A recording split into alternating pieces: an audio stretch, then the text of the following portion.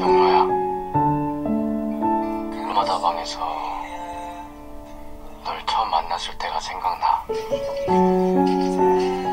무너지는 성냥개 뒷탑을 막으려고 손을 뻗는 널 봤을 때 사실은 그때부터 네가 내 마음속에 있었어. 저녁.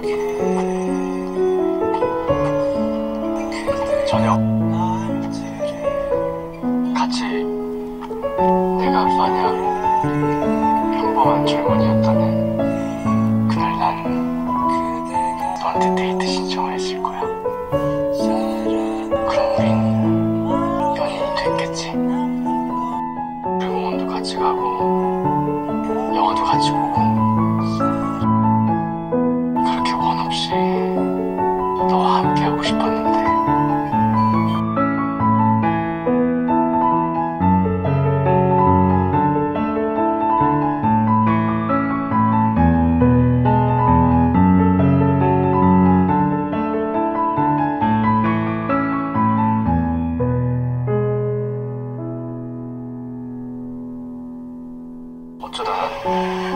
곁에 있어서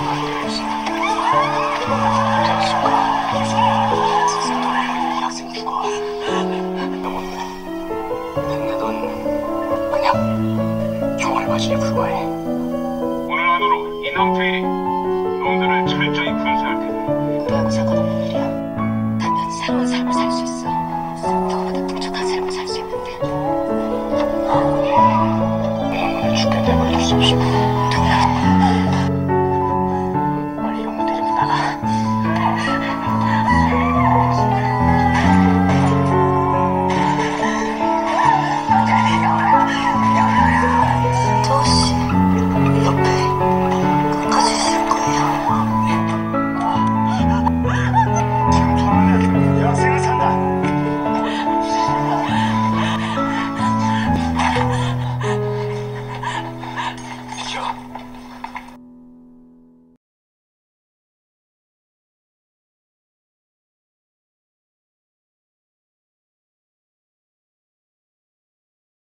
하지만 나는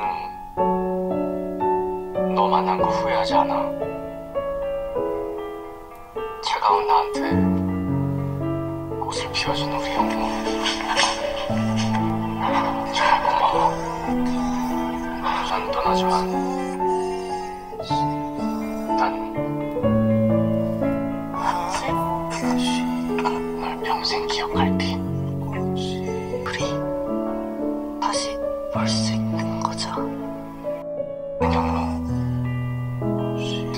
사람만 있으면 언젠간 다시 만날 수 있을 거야.